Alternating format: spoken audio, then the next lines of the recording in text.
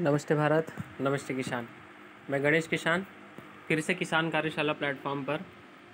आप पूरे भारत के किसानों के लिए केला खेती में कई सारी समस्याएँ आ रही है, जिसको थोड़ा थोड़ा मैं समझ रहा हूँ, जो समझा है, आप लोगों तक तो पहुँचाने का प्रयास कर रहा हूँ।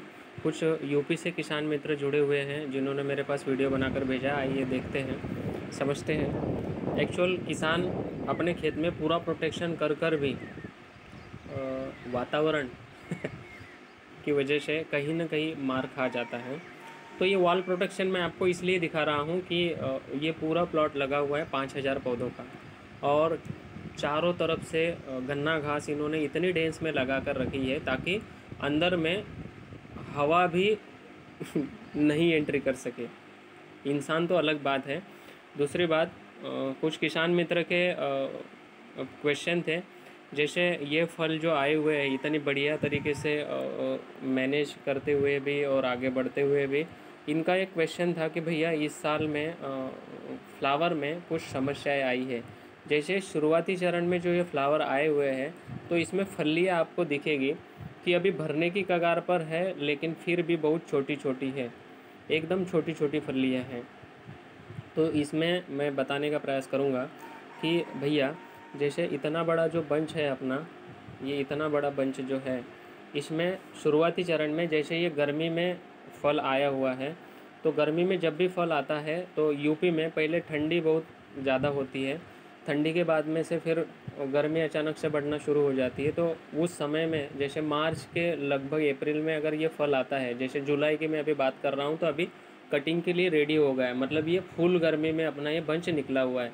तो उस समय जो फ्लावर निकल के आता है, जो ठंडी में जो जुलस कर बाहर निकला हुआ है और गर्मी में बाहर निकल के आ गया तो उस समय में छोटी छोटी फलियाँ बाहर निकलती है। आपने कई बार देखा होगा कि मेरे कुछ अगर आप सेशन वीडियो देखोगे तो ऊपर में दो पंजे अच्छे हैं, बीच में एकदम छोटे छोटे हैं, बाद में फिर से अगर थोड़ा सा न्यूट्रिशन अच्छा उठा रहा है तो एकदम बढ़िया केला है। तो ये न्यूट्रिशन पुअर की वजह से ये चीज़ें समझ में आती है। लेकिन ये रहती कितने दिन तक आ गए है?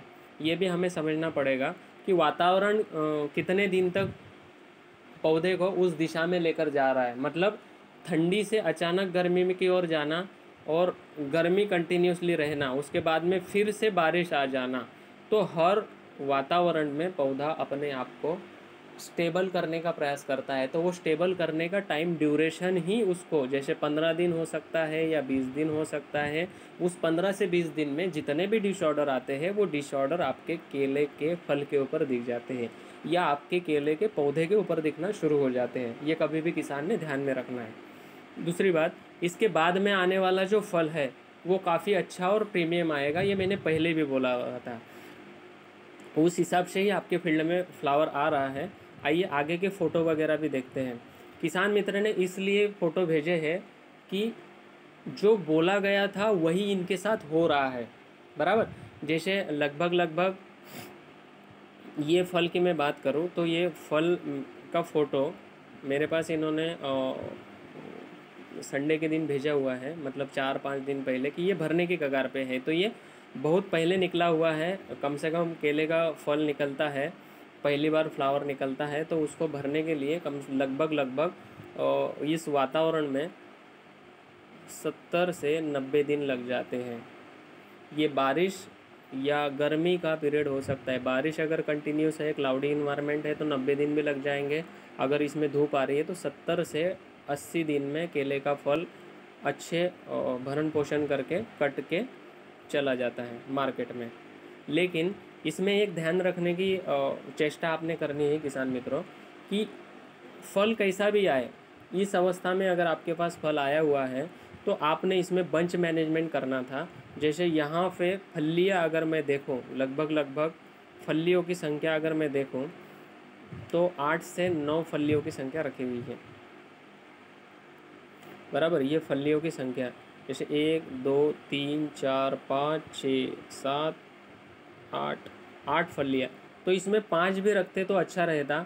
पाँच रखते तो यहाँ तक फली और ऊपर में फिर केले की लंबाई। दूसरी बात, एक दो स्प्रे उस समय हो जाना चाहिए था। जैसे केला का पौधा जब फ्लावरिंग देता है उसी समय, सातवें दिन जब पूरा बंच निकल के बाहर निकल के आता है और यहाँ पे वो कमल जो होता है, ये तोड़ते समय जब ये केलों को अगर आप इस अवस्था में होते हुए अगर आप स्प्रे करते हो टर्न होने से पहले तो पहला नीम ऑयल और दूसरा जीए वगैरह, जिब्रेलिक एसिड वगैरह का उपयोग करते हो तो वो अपने केलों की सेल वाल को बढ़ाने का कार्य करता है। तो आप निरंतर अगर आप बात करते रहोगे तो आपको इस समस्याओं का समाधान किसान कार्यशाला प्लेटफॉर्म पर मिलता रहेगा। ठीक है? अभी आगे देखते हैं, और किसान मित्र ने कुछ फ़ोटो वगैरह भेजे हुए हैं तो वो भी देखते हैं।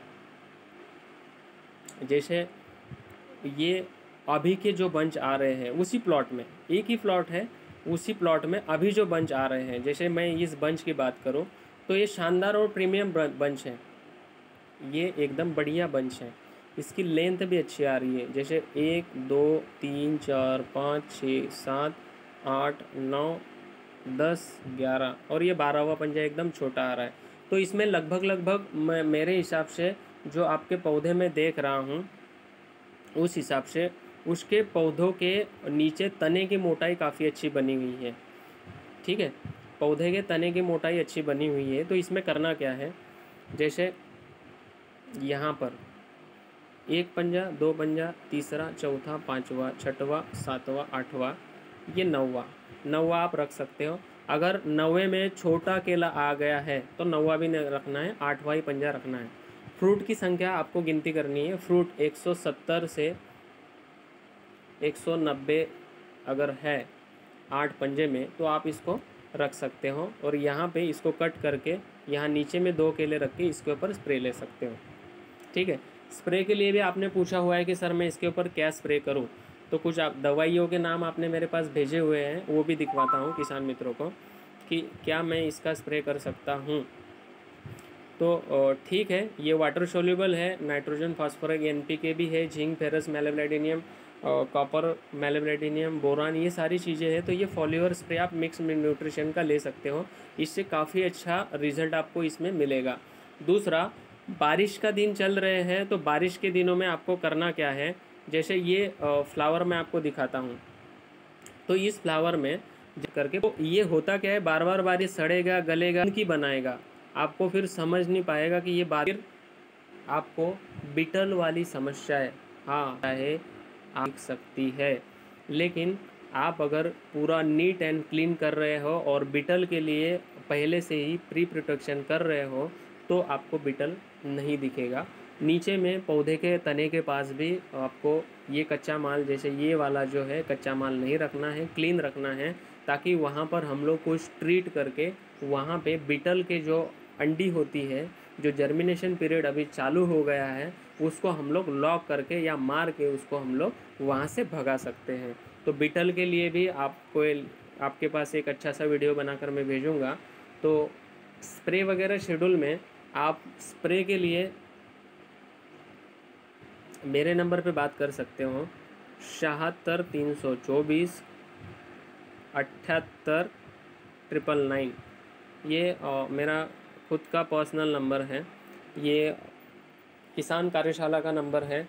दूसरा, संपर्क के लिए राहुल जवान जी भी है, जो यूपी पूरा देखते हैं। लगभग लगभग उनके एक्सपीरियंस के हिसाब से ये बंच इतने बढ़िया निकले हुए हैं तो राहुल भाई की भी तारीफ़ करनी चाहिए। दूसरा, किसान के मेहनत का फल।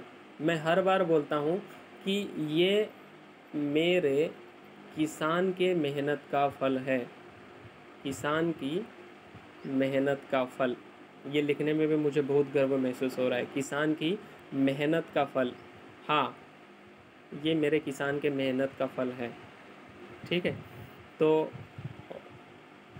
आपके पास शेड्यूल मैंने भेजा हुआ है भैया और जो किसान इस वीडियो को देख रहे हैं, समझ रहे हैं, उनके पास डिस्क्रिप्शन में मोबाइल नंबर दिया हुआ है। आपके खेत में अगर कुछ समस्याएँ है, कौन से भी क्रॉप से रिलेटेड तो आप किसान कार्यशाला प्लेटफॉर्म पर, मेरे नंबर पर, राहुल भाई के नंबर पर या ऑफ़िस पर आप वीडियो बनाकर भेज सकते हो ताकि ताकि आपकी फ़सल में जो समस्याएँ आ रही है, उस समस्या का समाधान हम लोग आप तक पहुँचा सके। हम लोगों ने जो सीखा है, वो सिखाने का प्रयास आप लोगों को, आप लोगों के बीच में हम लोग कर रहे हैं। कई जगह पे ऐसा होगा कि आप लोगों के पास कुछ आपके वहाँ का लोकल का एक्सपीरियंस होगा तो आप हमें वो शेयर कर सकते हो, हमारे साथ चल सकते हो। Okay thank you Bharat. नमस्ते, इंडिया। नमस्ते, किसान। नमस्ते किसान भाइयों।